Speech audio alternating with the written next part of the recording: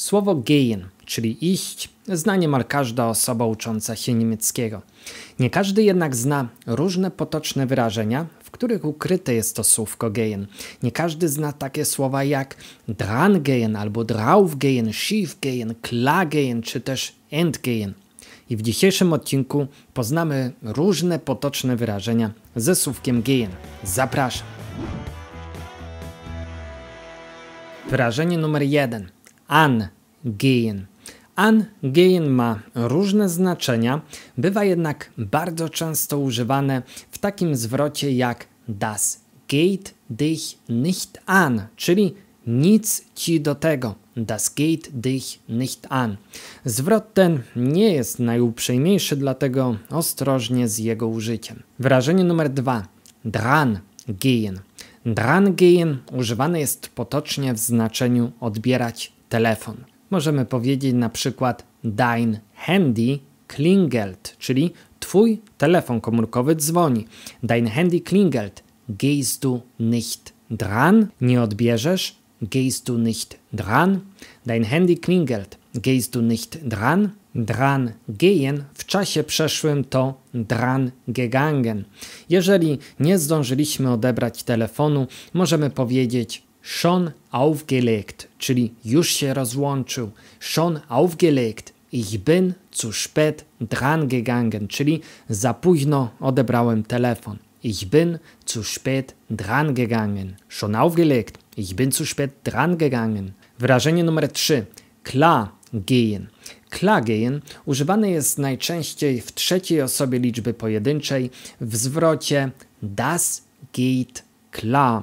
I zwrot ten można przetłumaczyć mniej więcej tak samo jak das ist kein Problem, czyli nie ma problemu. Gdyby na przykład Niemiec zapytał nas, kannst du mir morgen beim Kochen helfen? Czy możesz mi jutro w gotowaniu pomóc? Kannst du mir morgen beim Kochen helfen?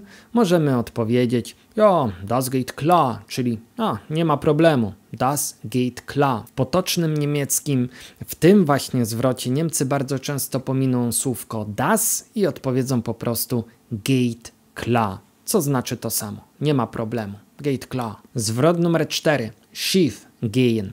Schief gehen można przetłumaczyć na pójść źle.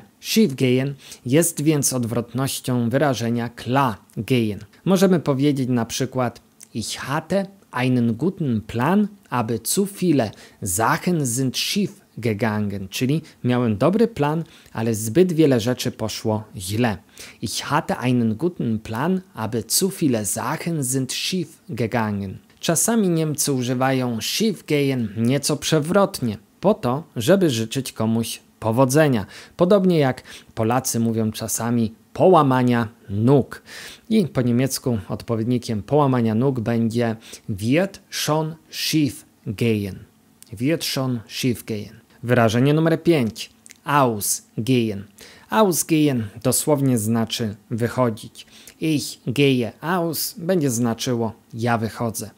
W języku potocznym jednak ausgehen bywa używane w znaczeniu kończyć się. Na przykład der Film ist spät ausgegangen, czyli film późno się skończył.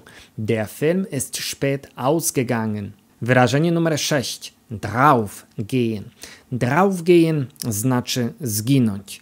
Wracając do naszego przykładu z filmem, możemy powiedzieć Die Hauptperson ist am Ende draufgegangen, czyli główny bohater na końcu zginął. Die Hauptperson ist am Ende draufgegangen. Pamiętajcie, że draufgehen używamy raczej, kiedy mowa o fikcyjnych bohaterach książek i filmów. Użycie tego słowa w odniesieniu do prawdziwych ludzi brzmiałoby raczej niepoważnie. Jeżeli powiemy Niemcowi, ich habe gehört, dass deine Oma draufgegangen ist, w bardzo luźnym tłumaczeniu brzmiałoby to dla Niemca mniej więcej jak słyszałem, że twoja babka kopnęła w kalendarz. Rozumiecie, nie za bardzo wypada tak powiedzieć. I wyrażenie numer 7, entgehen. Entgehen dosłownie znaczy uciec albo umknąć. Jednak w języku codziennym tego słowa użyjemy najczęściej, żeby powiedzieć, że coś umknęło naszej uwadze. Na przykład, kiedy żona zapyta nas, czy nie zauważyliśmy od wczoraj niewyniesionych śmieci, możemy odpowiedzieć: Nein, das ist mir entgangen. Nie, to umknęło mi jakoś. Nein, das ist mir entgangen. W porządku, moi drodzy. A teraz czas na zadanie dla Was. Biorąc pod uwagę wszystkie zwroty, które poznaliśmy w dzisiejszej lekcji, jak uzupełnilibyście następujące zdanie?